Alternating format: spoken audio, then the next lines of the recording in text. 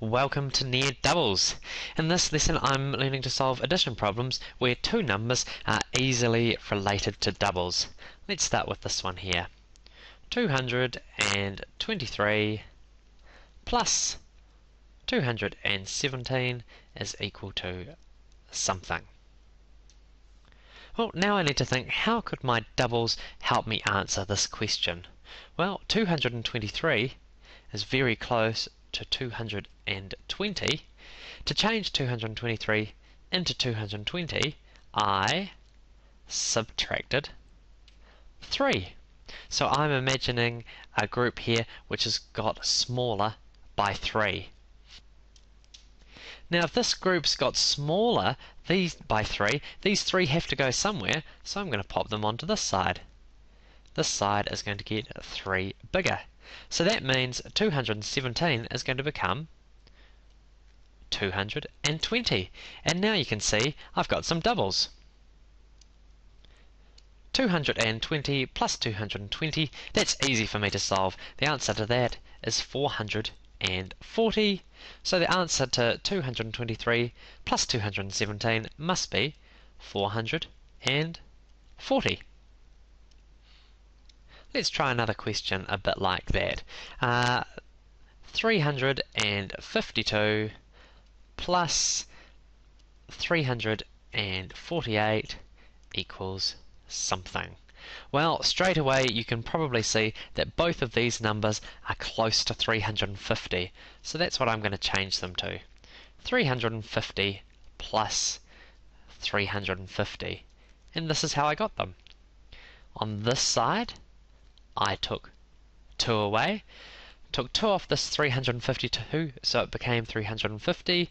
And on this side, I added 2. So 348 became 350. So the 2 from this pile was taken away and moved to this pile over here. Well, now you can see I'm left with a much easier question to answer. 350 plus 350 is 700. So 352 plus 348 must be 700. Now let's try one which is a little bit different. Um, 119 plus 119. Alright. Well, now I need to think what doubles would help me answer this. 119 is very close to 120. So I think I'm going to change them both to 120 because that will make it much easier for me to answer. So to change 119 to 120, I had to add 1. And to change this 119 to 120, I also had to add 1. Now 120 plus 120, that's easy for me to answer. It's 240, but that's not the answer to 119 plus 119. Because you can see that I made this side one bigger, but I also made this side one bigger, which means my answer is going to be 2 too big. So now I need to take off those 2 that I added. So 240 minus 2 equals 238. So the answer to 119 plus 119 is 238. Let's just have a look again why I'm subtracting 2. I'm subtracting 2 because I added 1 here and I added 1 here so now I needed to take them off. Let's have a look at another one. This time let's do 301 plus 301.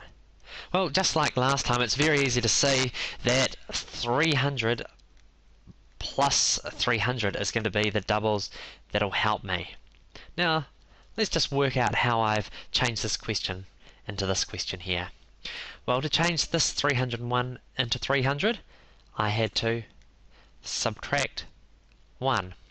And to change this 301 into 300, I also had to subtract 1. Now let's work out the answer to this easy question here. 300 plus 300 is 600. But we know that 600 is not the answer to this because you can see that I took off one on this side and I also took off one on that side. So now I'm going to have to adjust for that. Well, to adjust for it, I'm going to have to add on 2.